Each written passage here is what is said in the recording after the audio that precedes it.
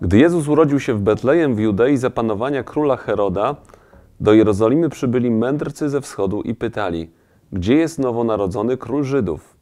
Zobaczyliśmy bowiem jego gwiazdę na wschodzie i przyszliśmy oddać mu pokłon. Ale mnie olśniło, a może by tak do Izraela, a później do Betlejem. Zobaczmy, ile to kilometrów. 3584 km, 40 godzin jazdy, ale dosyć duży odcinek przez Turcję i przez Syrię. Samochodem to chyba nie najlepszy pomysł. Zobaczmy, czy można samolotem.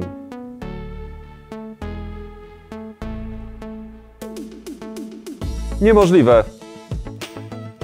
130 zł w jedną stronę, 170 w drugą. 300 zł. Małgosia, ja lecę do Izraela.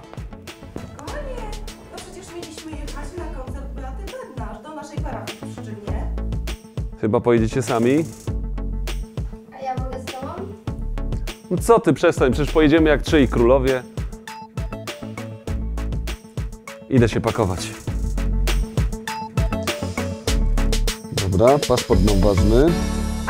Mam nadzieję, że otrzymam ponownie wizę wjazdową. Troszeczkę pieniędzy jeszcze mam na wyjazd. No, szekli też parę zostało. Możemy lecieć.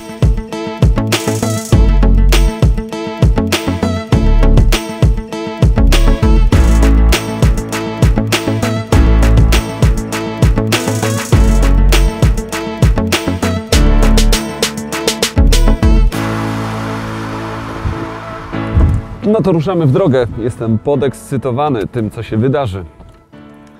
Moi drodzy, w dzisiejszych czasach naprawdę wydaje mi się, że wszystko można bardzo łatwo i bardzo szybko zorganizować. Wystarczy posiadać odpowiednie urządzenia, podłączenie do internetu, kartę kredytową i możemy ruszać w każdy zakątek świata. Ale wyobraźmy sobie sytuację sprzed prawie 2000 lat, kiedy trzej mędrcy zobaczyli znak, gwiazdę na niebie, gwiazdę, która oznajmiała światu, że narodził się ktoś wyjątkowy, ktoś, kto przychodzi bardzo rzadko na świat. Spakowali wszystkie rzeczy, musieli logistycznie zaopatrzyć się na tę podróż, która wcale nie była łatwa i której, wydaje mi się, na samym początku nie znali końca. Nie wiedzieli, jaki będzie cel i jak daleko będą się musieli udawać. Pozostawili swoje zajęcia, pozostawili może i swoje rodziny i wyruszyli na spotkanie tego, którego nie znali. Mieliście kiedyś tak? Czuliście kiedyś coś w sercu takiego, żeby zostawić wszystko i wyruszyć w świat, w nieznane, po to, aby spotkać kogoś? Jeśli nie mieliśmy, tak? To zapytajmy siebie, co jesteśmy w stanie zrobić, aby spotkać tego, którego chcieli spotkać mędrcy, co jesteśmy w stanie zostawić dla Jezusa, co jesteśmy w stanie zrobić, żeby wyruszyć w drogę do Niego. Oni patrząc na światłość, którą dawała gwiazda, podróżowali w stronę Betlejem.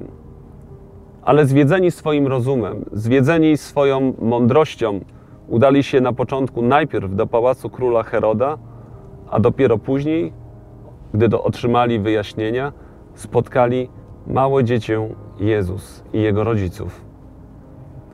My często też posługujemy się własnym rozumem i wydaje nam się, że cele, które powinniśmy osiągać, czy cele, które Jezus nam wyznacza, są w zupełnie innych miejscach niż On to chce. Bo kierujemy się naszym ludzkim rozumem, a nie sercem i nie poznaniem Boga. A Bóg przychodzi do nas i daje nam się poznać w Jezusie Chrystusie, w małym dziecku i przynosi nam dziś pokój, radość, miłość i szczęście.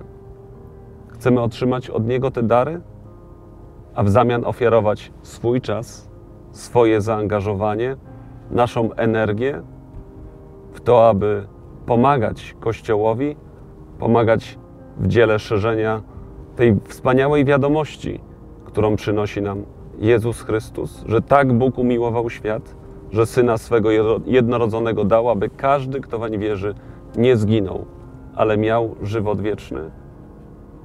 Udajmy się dziś w drogę do Betlejem. Udajmy się, aby jeszcze raz po tych świętach i w święto Epifanii, w święto Trzech Króli, pokłonić się Chrystusowi i zapytać Go o plany na drogę naszego życia. Życzę Wam wszystkim błogosławionego święta objawienia Pańskiego.